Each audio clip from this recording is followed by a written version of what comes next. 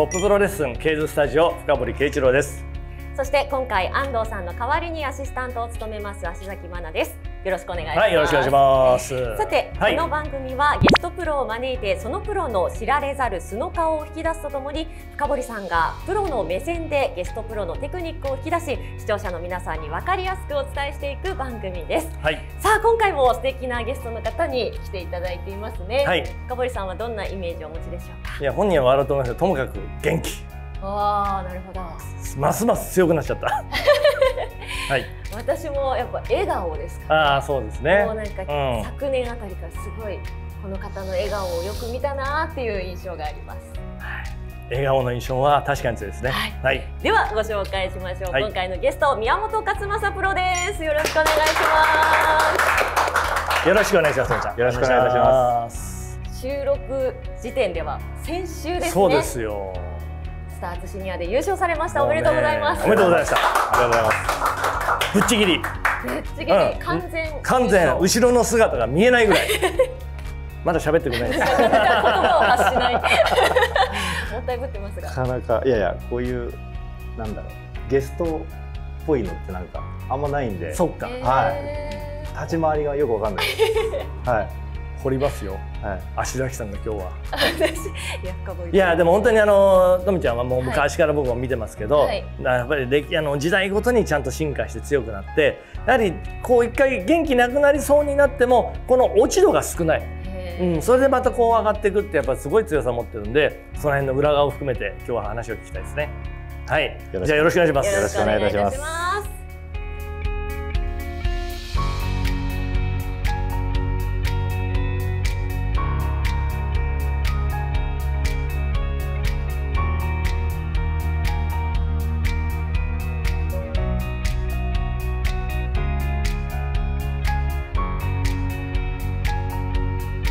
飛ばしたいと思ったのはないです。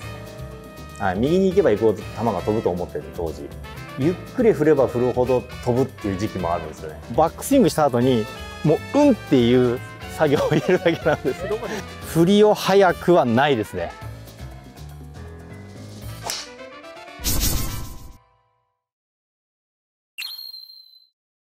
それではまずいろいろとねお話を聞いていきたいと思ってるんですが、今回は今回もですね、はい。宮本プロに聞きたいキーワードこちらをご準備いたしました。はい。今回まず三つですね。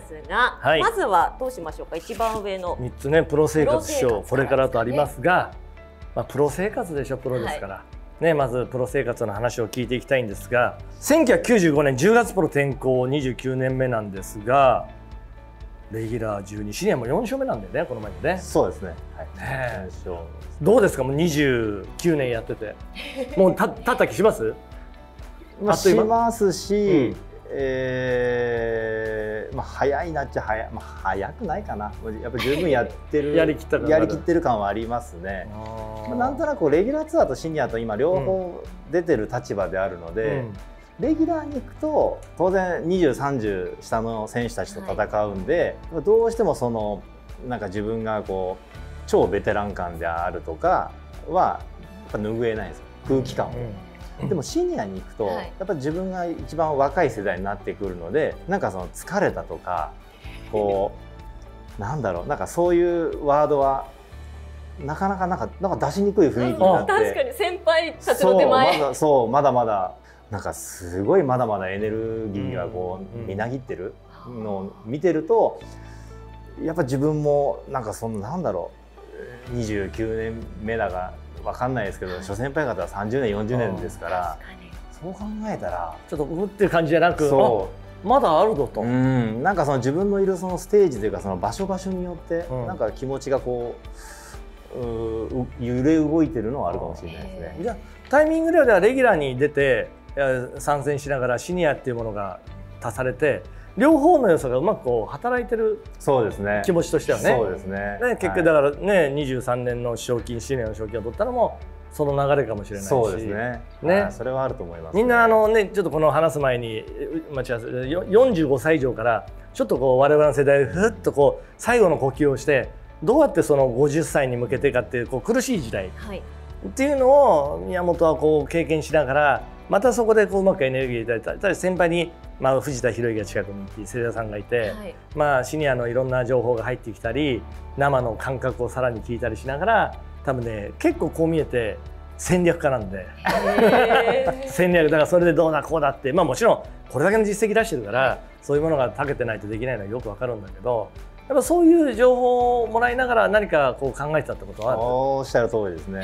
うんやっぱり近くに、まあ、藤田さんがいて、まあ、芹田さんがいてっていう環境がすごい大きくてうん影響が、やっぱそこで、まあ、芹田さんからもうん僕がよんほんと45ぐらいの時からそれ言われてて、お前たちが来る頃は俺もう60だからなうん。みたいなこと言ってたんですけど、でも自分が実際いろんな話を聞いて50になってまた芹沢さんと藤田さんと3人で練習ラウンドができたとか、やっぱそういうのは嬉しかったですよね。素直に嬉しかった。はい。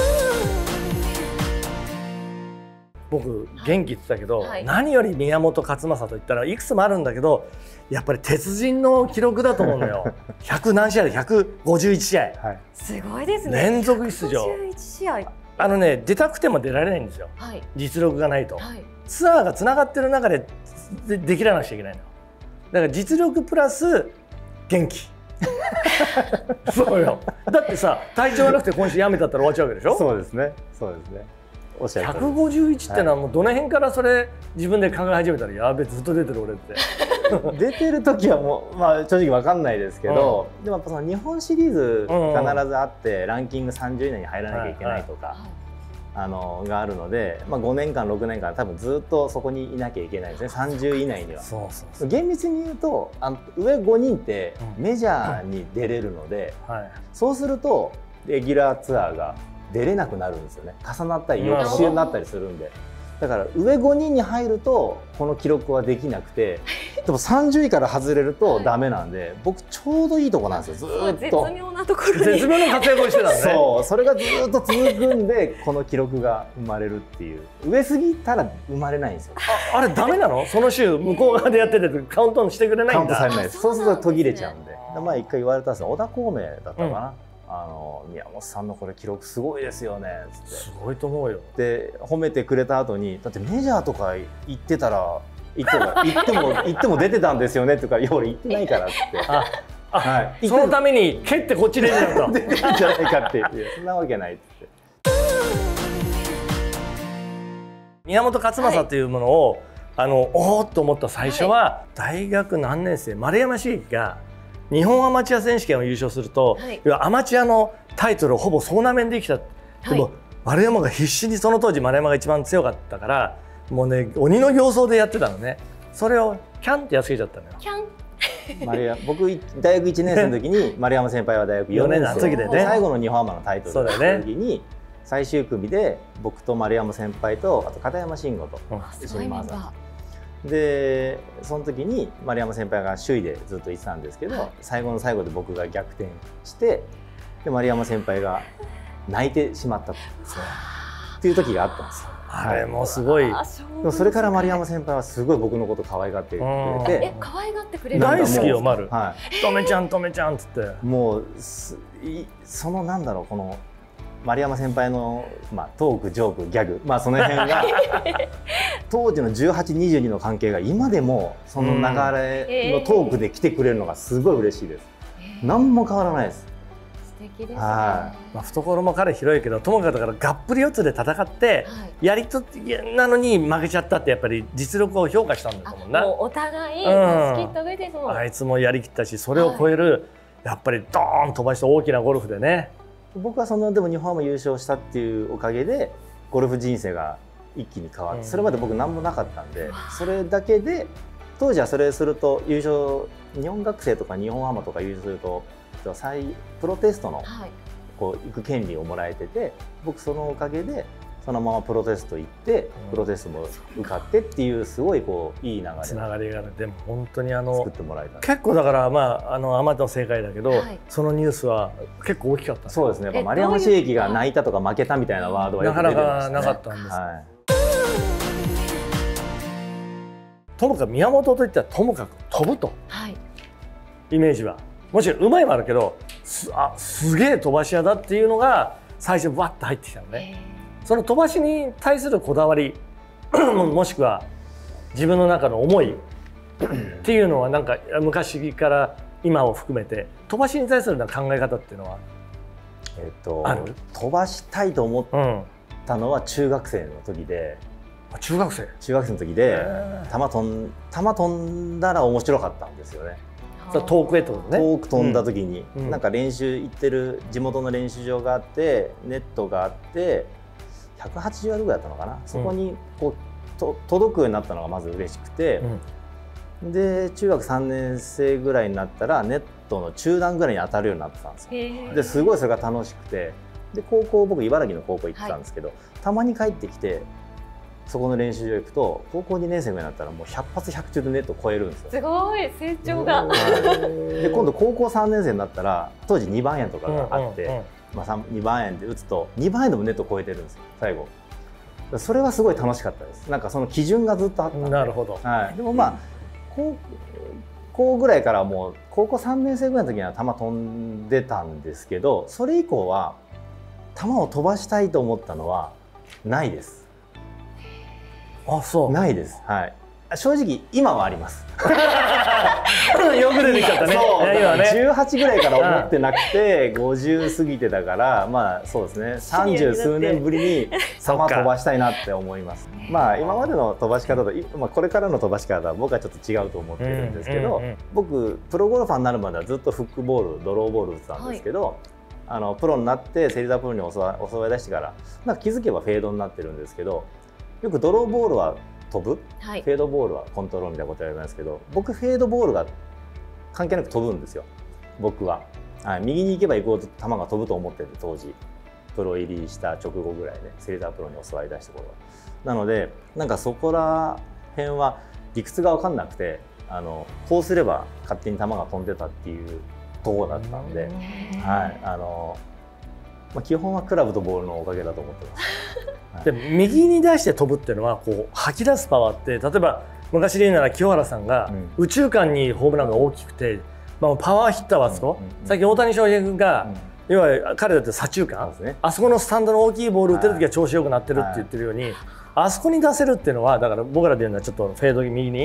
いやフェードって回転の多いこうスライスじゃなくて。はいはいのびちゃんのボールってどっちかというと回転がしっかり抑えられてこうどっちかというとねかドロップと言わないんだけど、はい、いい回転でこうこうシャッとこう落ちてくる初速が速くて。そうですね、あのなんかその今野球の話でったんだ、うん、えっ、ー、とね元ベイスターズの村田選手かな？なんか右の大砲の方いたんですけど、うん、宇宙間に引っ張るみたいなワード出したんですよ。すごいそれ分かるなと思って。なるほど、はい、流そうとしたら多分こう球切れていくんですよ。でも右バッターもそうですけどなんか宇宙間の方に打つ時になんか宇宙間に引っ張るみたいな感覚ってすごい僕理解できるんですけどなかなかこれ難しいみたいで。これ聞いてみたいね。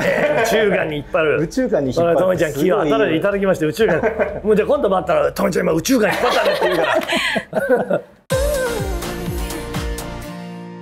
あとスイングスピードが飛ばし上げってどっちかったら早いじゃない。そうですよ、ね、パンパンって打つとか、はい、なんか急区間ガーンとかっていう感じだけど、はい、やっぱりさ宮本勝正っていうのはやっぱりシューッからバンっつってこういう感じで こう一瞬どっかが早いのかなっていうぐらいな感じなんだけど、当たりが強いのよ。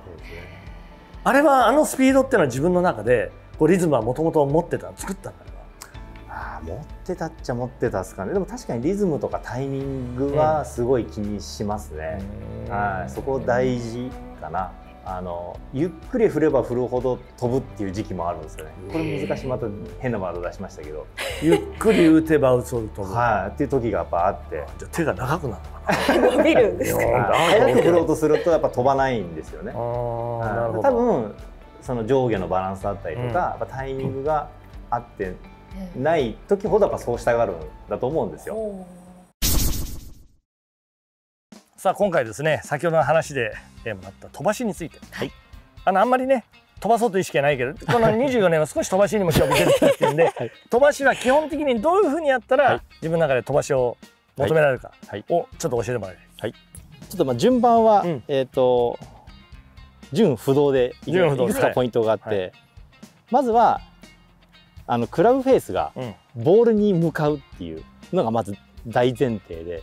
でどういうことかっていうと、まあ、今スイングプレーンとかいろんなローンはありますけど、スイングプレーンを意識すると僕の中ではフェースが一回ボール向かなくなるんですね。あここが意識になっちゃうそうそう。一回ボール外れるんで僕の中では常にボールにフェースが向くイメージなんですよ。だからなるほど。技術的なのかイメージか分かんないですけど、えっと、手元よりもヘッドが常に前にあります。僕のイメージでは。常に前です、これがこう後ろに行くことがなくて。あの動画とか写真見たらねあの、まあなってるけどもちろんそうなるんでしょうけど僕のイメージでは常にヘッドが前にあります。前にないとボーフェースがボールに向かないと僕は思ってるんですね。なので、まあ、まずはそこが大前提。じゃあこういう溜めてこうって意識ないんだね。今自分の中ではないです。ね。自分の中ではない実際になってるけど今でも素振りしてくれた手を離してはい。こうやるとかそれがなんか作りやすい感じそうですね。そうですね、こういうちょっとスプリットっぽく握った方が、多分前に来やすいんで、はい、だからそこを基準で考えると、体の動きもどんどんなんかこうそっちにこうなっていくというかこういう感じはないですね、はい、僕の中では。これはないです全体的にじゃあここの動きはこうこう変わんない感じだね。そうです、ね。そういうことそういうこと。こですこここここが。そうです。もうこれここのクラブと体の関係はこっちですね。常に常に前ですね。体の前にヘッドがあるイメージですね。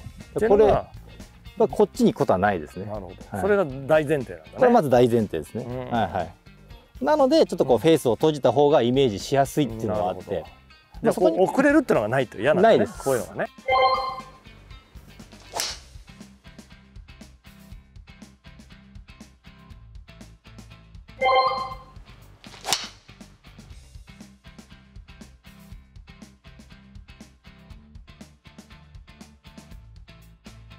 でも飛ばしとなると、はい。やっぱパワーっていうものが必要になるじゃない、はい。力を伝える、はそれはどうやってじゃあそこは、うん。これまた怒られるでしょうけどもうバックスイングした後に、もう「うん」っていう作業を入れるだけなんです。どこでいるんだどこどこら「辺？う」もね「う」に点々です。もう「うん」うんだけです。もうもうバックスイングして、バックスイングもうん。回そうとかじゃないんですよね、もう自分がちょっとひねればもうそこで OK でそこから「うん」が入れば。あじゃあもう全体的なこの中の、そうですね。あのーね切り返しでうん、胸が右向いた状態で自然落下とか、えー左足体重乗せるとかいろいろありますけど僕はあの切り返しの良いのはもう「うん」うんなんですね。で「うん」うん、ドーン。ああ本当それそれそれそれそれそれ。うんドーンでさい運がないといきなり切り返しからドーンはないんですね。はい。すいません。こんなレッスンないですよ。でもじゃあ自分の中でバックスイングして、うん。ここで「うん」って声出すことあるの？えー、っと声か。うん、ごめんね。うん考えたことないあでもまあ気持ちはありますね。うんうんって出せば出すほどちょっとなんかこうグッと沈みそうなんあでへ多分縮めときたいんでしょうね。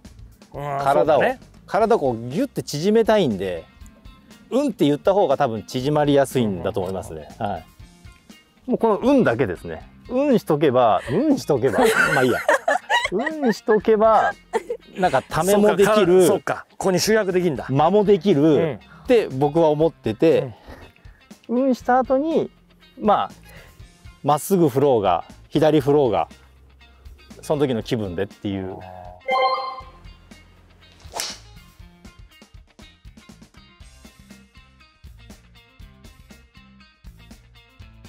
でもあのせいやさんとこのスイングのベースって左腰をここレベルに切っていくってレベルですいう、ね。はい。あるじゃない、はい。ここから「うん」の後はここは何かあるの？飛ここはあんまり気にし基本ベルトの高さは変えるなんで。すねあベルトの高さを変えないように、基本はもうこれがこう伸び上がることなく、うん。伸び上がることなくここの高さ変えずに回すですね。うんの後は溜めたまま回すんだ、じゃあじゃあチームセリダーとしてはいつもこのなんか左の膝とか股関節とかベルトあたりは最後までなんか高さ変えずみたいなイメージはあります。これはベースとしてはありますね。じゃあこのうんの後はこう動きとしてはこの辺が主導権があるの？主導権はどっどっかにいるんですか、面も変えないけどあんまりあーでもありますね、うん。やっぱ左の付け根はは大事なところ。だ大事ですね。そこに向かって回すみたいなのもありますね。はい面を変えずに決めたら うんとベルトがあそうまさにそれ まさにそれ。本当それです。力のし。まああの今勝手に感じたのはここに重たいものをふんって引っ張る感じでしょうね。例えば。えっ、とねそうですね。引っ張る時にこっちに引っ張ろうとすると力抜けそうなんで、うん僕はえっ、とねなんかここっちに引っ張るかな、うんそうそうそうそう。そうそうそうこういう感じです。ベクトルそっちですね。はい。そっちです。はい。でレベルで。ああそういう感じですね。すごい。さすが。ありがとうございます。すごい嬉しいです。なんか。まあ力がギュッて集約されて抜けないままに伝える。そうです。そうそういうことです。どんどん分析が。ね。えっ、と地面反力とかもそうだけどこうしたものをパーンとかはないです。僕の中にははいはい。なんかこうギュッとしたものはそのまま最後までギュッみたいな。そっちですね。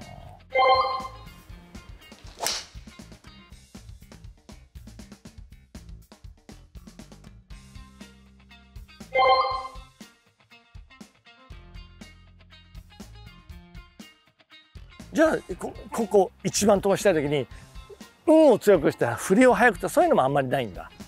えっと振りを早くはないですねはいはい。運の集約が強くなるそうです貯めわけだね。る時間を長くとかですかなるほど。はい。大きな力を貯めて面で叩き。そうですそうですねそうそっちですね。なるほど。はい。キーワードは今回は運ーです。うん。ドン。いやだから力を集約して、要要は抜くなってことだよね。そうですね。抜くはないです。識しやすいかもしれないですね視聴者のい皆さん。ね。しやすいかな。でみんなで音出しましょう。いや音はでもいい練習だよ。そうですね。ジャンボさんなんてそうですね。あーバーンとかって打って、ね。何か音とかこう中から出すっていうのはええ飛ばしには大事なことですね。ね。ちょっとやってみよう。はい、ありがとうございました。ありがとうございます。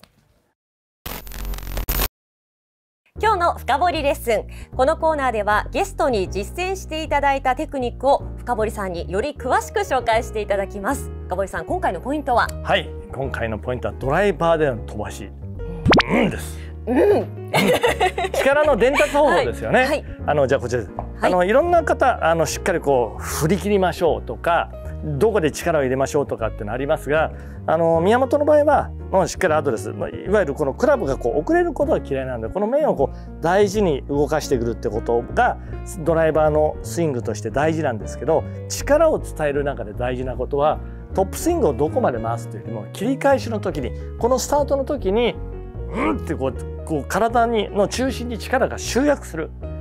彼で言うならうんって力を入れてこの全体に集約して集約した力をここから解き放していく。っていうのが彼の飛ばす打ち方ですね。音であったり感覚で力を入れる方法を養ってください。はい。彼はこちらというよりもこの瞬間にうんって言って集約することが力を貯めて打てる方法だってことですね。なるほど。ともかく外にうんって力じゃなくて中に集約してそれを出していく。ってことが飛ばしの中で大事なことはい。視聴者の皆さんもはい。意識しやすいかもしれないです、ね、ちょっと僕、うん。お音出して軽く打ってみます。あおいいんですか？おはい。願いします、こうしといて声出しますね。上げといてうん。ますね。上げといておー。はい、どうしてもインパクトで緩んでしてしまう人ははい。声を出してうん。ってこう溜めて振ってみるのもいい練習じゃただ周りに迷惑じゃないけどね。はい。うるさいって言われますからね、ええはい。ぜひ一度やってみてください。ありがとうございまはい。ありがとうございす、そればっかりやってたらなんかすごいそれが行き過ぎたみたいで正座さんに一回泥打てって言われて 宮本は高いフェード打てっていう話から始まってたんですけど体の中だけでなんか作業する感じなんですけどまあその閉じた高いフェードみたいなワードが